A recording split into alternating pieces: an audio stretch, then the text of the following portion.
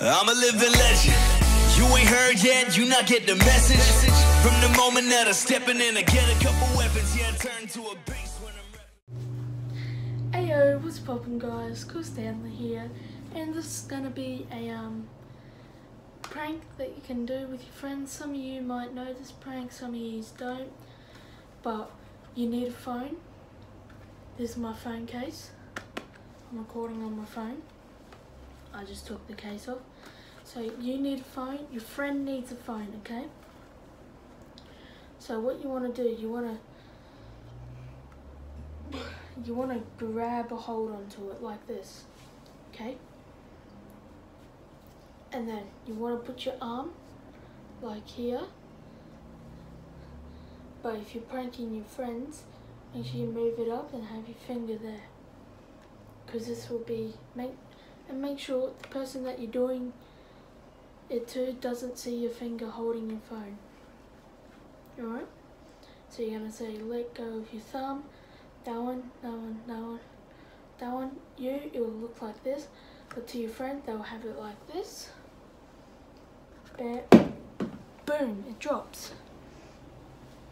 So that's one thing that you can do to your friends to make them mad.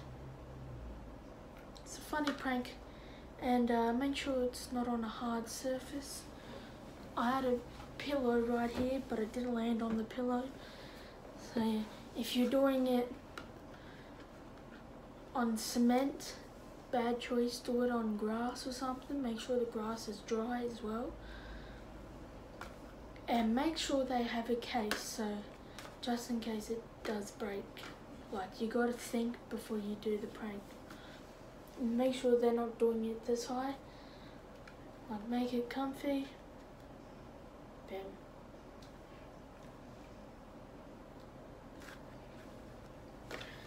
So that's a little funny prank that you can do to your friends. Make sure um, you say sorry as well, or I say we'll toilet paper your house. And yeah. So guys, oh, I'm not at my house again every weekend. I'm not really at my house. So yeah, I hope you guys like and subscribe and I will see you guys later in the next video. Turn on that bell. See you guys later.